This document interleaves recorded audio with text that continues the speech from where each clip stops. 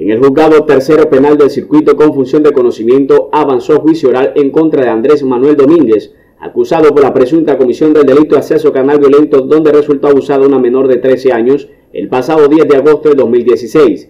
En la audiencia fue escuchado el testimonio de la víctima, quien hoy tiene 20 años y es la madre de una menor de edad, quien narró la forma como el sujeto la abusó sexualmente, aprovechando la confianza, dado que el hoy encartado trabajaba con el padrastro. El relato, la víctima dijo que el hombre ingresó a la habitación donde estaba cambiándose para ir al colegio, este le dio un golpe y la abusó. En la diligencia judicial, la afectada reveló que en reiteradas ocasiones trató de quitarse la vida ya que desde que fue víctima de abuso sexual ha venido sufriendo problemas depresivos. Es de señalar que el acusado en ningún momento ha aceptado los cargos endilgados por el ente acusador. El sujeto fue capturado el día 25 de abril del 2018. La juez de conocimiento programó la continuación de la audiencia para el próximo 24 de octubre a las 2 y 30 de la tarde con el resto de testigos de las partes. Cabe recordar que el procesado se encuentra en libertad por vencimiento de términos.